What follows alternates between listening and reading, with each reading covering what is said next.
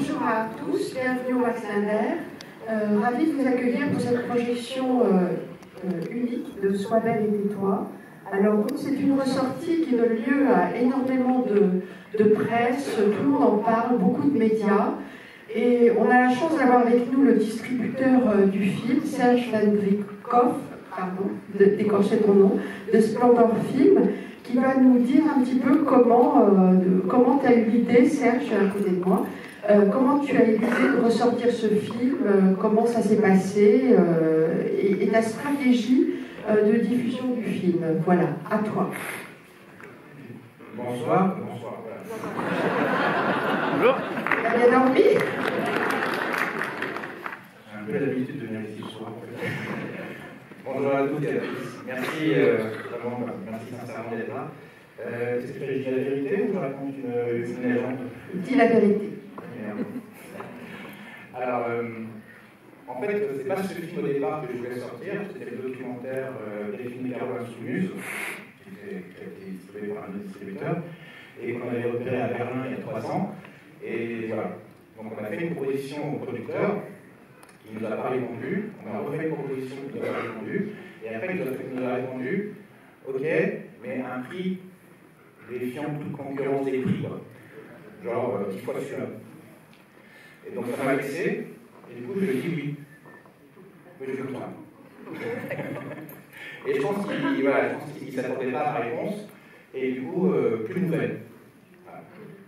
Mais nous, entre-temps, on, on, était tellement sûrs qu'on allait avoir le film, parce que n'importe un distributeur normal n'achète pas au petit cher un film, un documentaire, euh, voilà. Qu'on a commencé à travailler dessus, on a commencé à travailler sur, euh, sur des films séries et tout ça. Et quand on a vu que le film était annoncé chez un autre distributeur, on s'est dit, et le fichier. du coup, on est allé voir le, centre Simone de Beauvoir et on a demandé s'ils n'avaient pas euh, euh, du matériel sur, sur Belle et Toi. Et ils ont dit, ah, euh, on est en train de restaurer, c'est super et tout. Donc on a fait une proposition.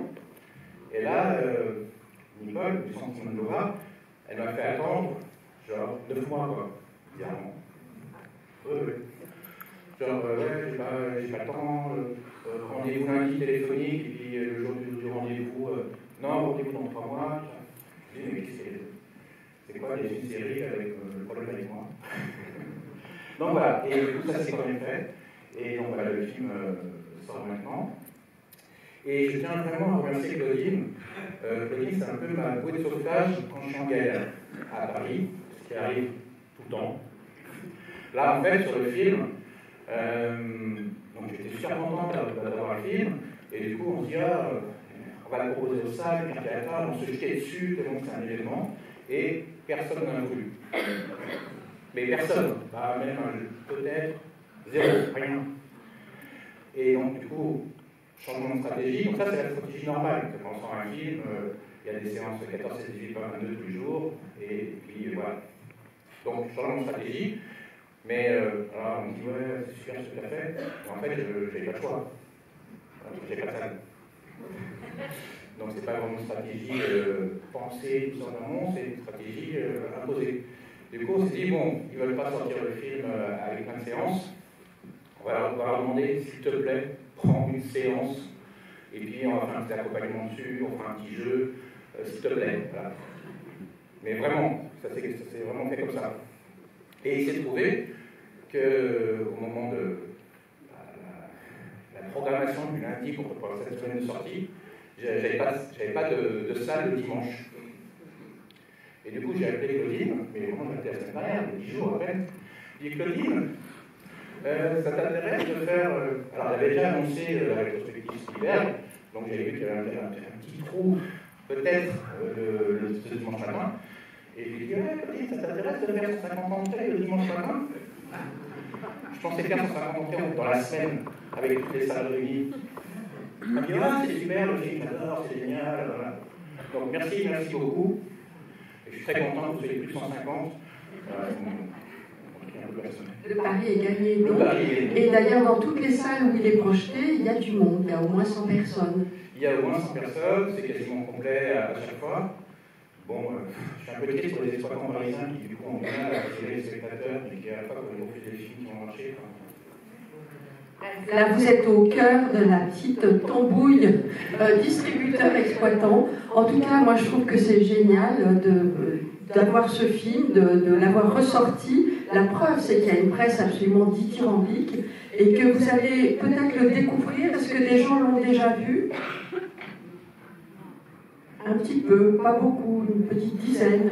En tout cas, c'est formidable. Vous allez découvrir un film euh, qui, fait date, qui a fait date euh, sur le combat des femmes.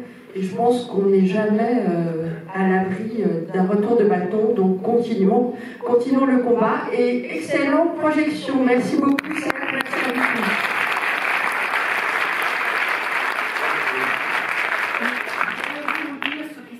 à l'époque quand le film est sorti?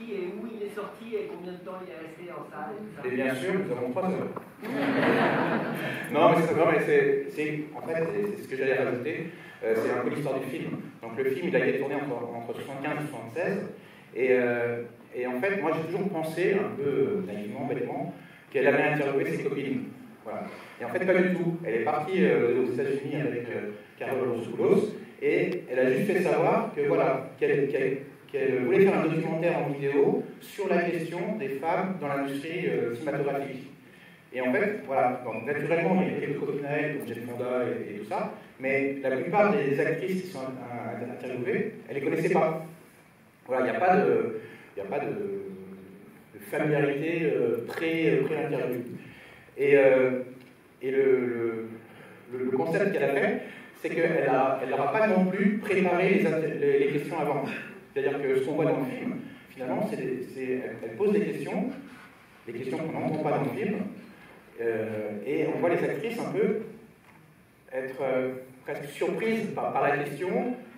Euh, ce qui est fort dans le film, c'est qu'on a le temps, on voit le temps de réflexion de, chaque actrice qui dit qu'est-ce que je réponds à ça enfin voilà et ça c'est assez fort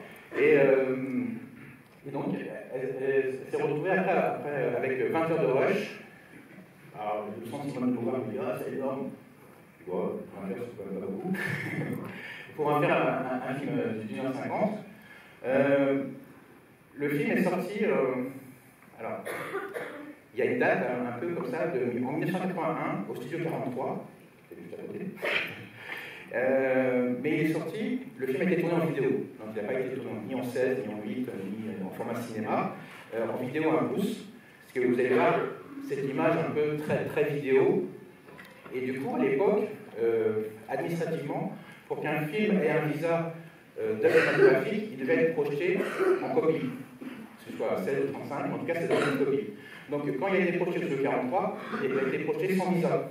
Et il a été projeté que peu de fois, parce qu'en fait, le film n'a pas eu euh, l'écho qu'il aurait mérité. Voilà, ça n'a pas, du tout, euh, pas du tout marché. Et donc, hop, et donc je pense qu'en plus à l'époque, ils ont dû installer un vidéoprojecteur dans la salle, enfin voilà, ça a dû être un dispositif un peu compliqué pour faire circuler le film euh, dans, les salles. Mais par contre, le film a beaucoup circulé dans un format vidéo, dans les lycées, dans les réunions militantes, des choses comme ça. Donc il y a eu une circulation du film, mais pas forcément dans les cinémas.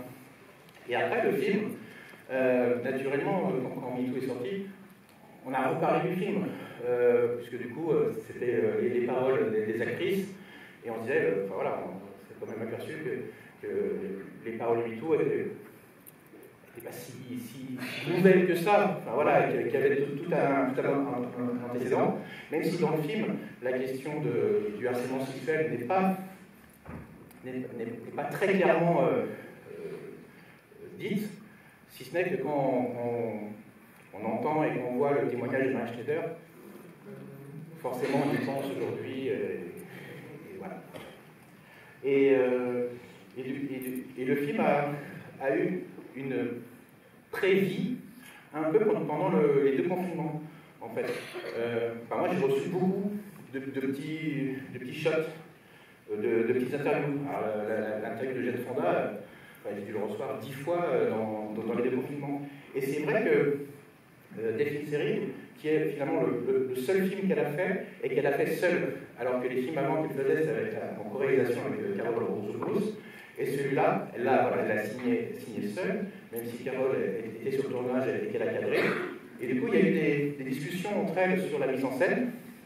Et vous allez voir, euh, a vraiment imposé la fixité du plan.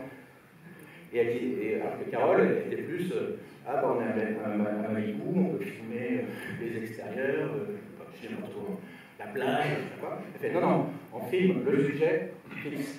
Et il disait à Carole voilà, que quand on regarde la télé, quand il y a un discours présidentiel, la caméra est fixe, parce qu'on demande aux, auditeurs, aux spectateurs, vraiment de se concentrer sur le discours.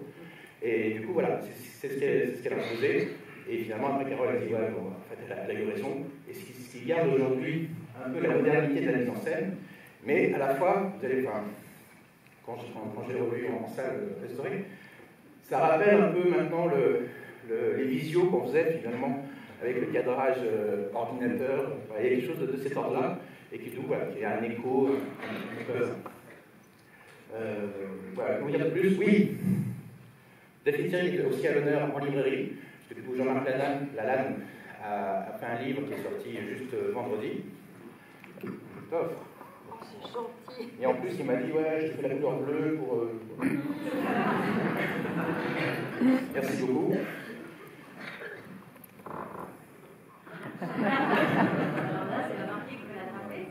La mariée, je ne sais pas. Euh... Si je le fais, que je laisse quelqu'un. non. Euh, du coup, plutôt en bas, tant pis, tant pis pour ceux qui sont en haut, mais vous êtes très très bien placés. Euh, L'année de naissance de Delphine Seyrig. 38. 38. 33. Bien. Je voulais aussi vous dire que euh, Serge a parlé de Maria Schneider. Il y a un, livre remarquable sur elle qui a été fait par Vanessa Schneider, qui était sa cousine, je crois, enfin, elle bien parenté. Donc voilà, si vous voulez vous le procurer, parce que ça en dit beaucoup sur le tournage, notamment de. Euh, voilà. Et il y a un court métrage euh, qui s'appelle Maria Schneider 83, qui parle justement de cette interview qu'elle a donnée en 83 où là, effectivement, pendant l'interview, elle dit très clairement que, voilà, qu'elle a, qu'elle a été violentée pendant, pendant le tournage. Et, ça, et du coup, c'est un film qui concourt pour les Césars, donc pour ceux qui votent encore. Merci beaucoup, merci Claudine. Merci,